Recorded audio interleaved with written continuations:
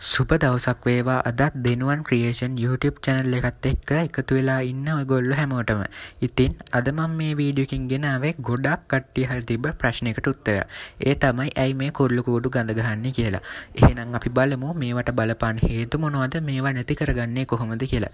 ඉතින් යාලුවනේ අදම මේ ගෙනල්ල තින වීඩියක හොඳයි කියලා හිතෙනුනම් මේ දැම්ම සබස්ක්‍රයිබ් කරන්න. එහෙනම් අපි කෙලින්ම යමු වීඩියෝ එකට. මේ සිරතල් සතුන් වෙනුවෙන්ම දෙනුවන් ක්‍රියේෂන් හරි හෙනම් දැන් අපි බලමු මේ කුල්ලු කූඩුවලින් එන ගඳ නැති කරගන්නේ කොහොමද කියලා. ගොඩක් කට්ටි හල් තිබ කුල්ලු කූඩුව. හේදුවා ඒත් හැබැයි ඉතින් ඒක තිබ්බ ගඳ නැති වුණේ නැහැ කියලා. එහෙනම් අපි ස්ටෙප් බයි ස්ටෙප් බලමු මේ කුල්ලු කූඩුව හරියටම පිරිසිදු කරගන්නේ කොහොමද කියලා. පලවෙනිටම යාලට කරන්න තියන්නේ මේ කෙනම මුලින්ම වාල්ට කියල ඉන්ඩෝනේ මේ දැම්මන් කියන ක්‍රම කවදාවත් බ්‍රීඩිං කේජොල බිත්තර හරි පැටව හරින්න ඕන මේ ක්‍රමණම් කවදාවත්ම කරන්නපා පැටව් නැති බිත්තර නැති කාලය අබ්බල්ලා මං කියන මේ ක්‍රම කරන්න. මොකද නැත්තම් බිත්තරකුණු එන්ඩ පුළුවන් පැටව මැරෙන්ඩ පුළුවන්. හරිහෙනම් අපි දැන් කෙලින්ම යමු වීඩියෝ එකට.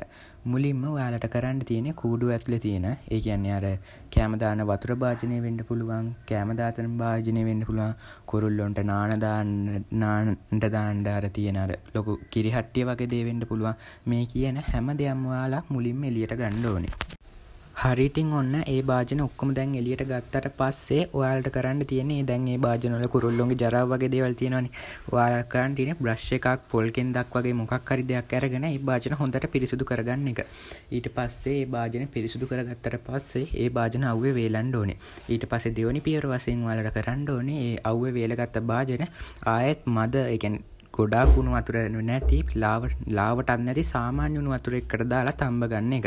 එහෙම තම්බ ගත්තට පස්සේ ඒ භාජන ටික ආයෙත් අව්ව වේලලා තියාගණ්ඩ හරියාලුවන දැන් අපි මේ කුරුළු කූඩුව ඇත්ල තියෙන භාජන සුද්ධ කරගෙන ඉවරයිනි. දැන් අපිට තියෙන කුරුළු කූඩ සුද්ධ කරගන්න. හැබැයි මේ කුරුළු කූඩ සුද්ධ කරද්දි ගොඩාක් හොඳයි කුරුල්ලු නැතුව කුරුළු කූඩ සුද්ධ කරනවන මොකද නැත්තම් කුරුල්ලුන්ට වතුර හින්ඩ වගේ දේවල් පුළුවන්. හැබැයි කුල්ලු කූඩේ කුරුල්ලෝ එකන උඩ ඉන්න නම් ගෙන අත්තක හල උඩින්න නම් ගොඩක් කවුලක් වෙන්න මුලින් වාල කරන්න අර කුල්ලු කූඩුව බිම කියන කුල්ලු කූඩුව බිම තියෙන දැලේ තමයි ගොඩම ජරාවතියෙන්නේ ඉතින් එහෙම ජරාව තියෙන හින්දා බ්‍රශ් එකක් හරි නැත්තම් හෝස් එකක් හරි දාලා ඒ බිම තැල හොඳට පිරිසිදු කරගන්න ඕනේ.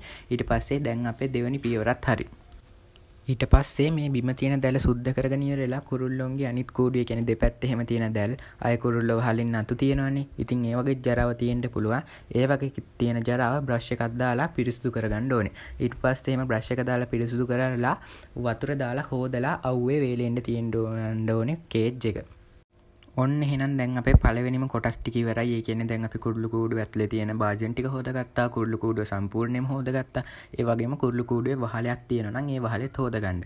එහෙනම් දැන් අපි බලමු දෙවනියට කරන්න ඕන දේවල් මොනවද කියලා. දෙවනියට කරන්න ඕන දේ තමයි පිරිස්තු කරගත්ත කුරුල්ලු කූඩුව ක්‍රමාණුකූලව පවත්වාගෙන යෑම.